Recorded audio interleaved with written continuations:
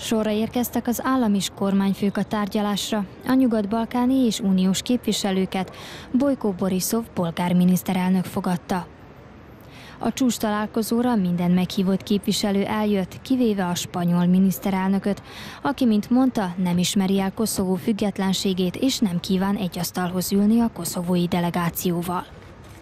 Az uniós vezetők albán, boszniai, koszovói, macedón, montenegrói és szerb partnereikkel egyeztettek a térség társadalmi-gazdasági fejlődéséről, valamint az esetleges jövőbeli EU csatlakozás lehetőségéről.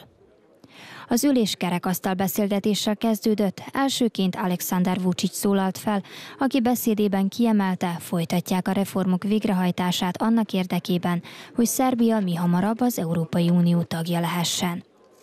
Angela Merkel német kancellár az ülés előtt azt mondta, az EU-nak érdekében áll az, hogy a nyugat-balkáni térség biztonságos legyen, valamint hogy a gazdaság megfelelően fejlődjön.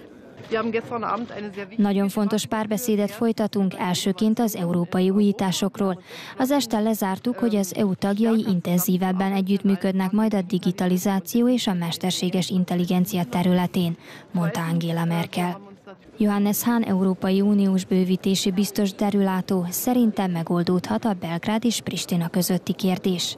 Uh, Én mindig optimista vagyok. Az új stratégia egyértelművé tette, hogy mindenki számára létezik lehetőség.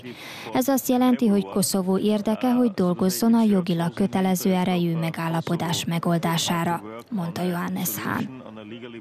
A kétnapos csúcs találkozón a nyugat-balkáni és uniós vezetők bilaterális tárgyalásokat is folytattak egymással. Orbán Viktor magyar miniszterelnök több politikussal is találkozott. Alexander Vucic szerb államfő szintén kétoldalú tárgyalásokat folytatott az EU, illetve az uniós intézmények vezetőivel.